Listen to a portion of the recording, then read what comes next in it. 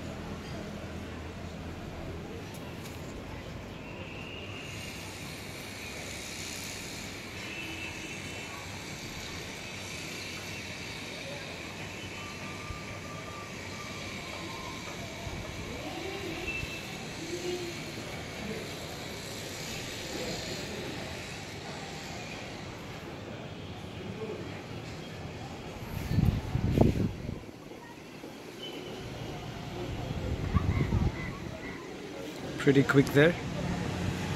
So let's do one with the blue sky and indoor. Blue sky indoor.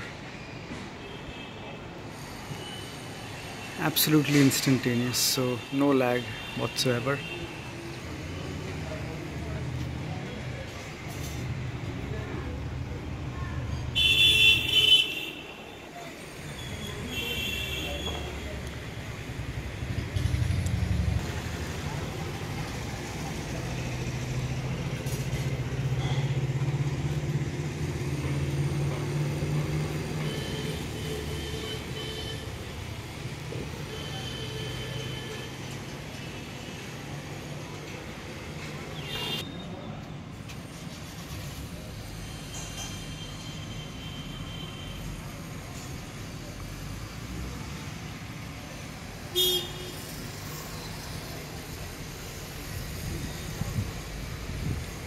So the dual pixel autofocus is doing a really good job.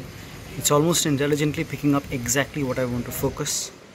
So pretty satisfied with the focusing speed on the Galaxy Note 8. If you guys want to know anything else, do let me know in the comments below. See you guys later.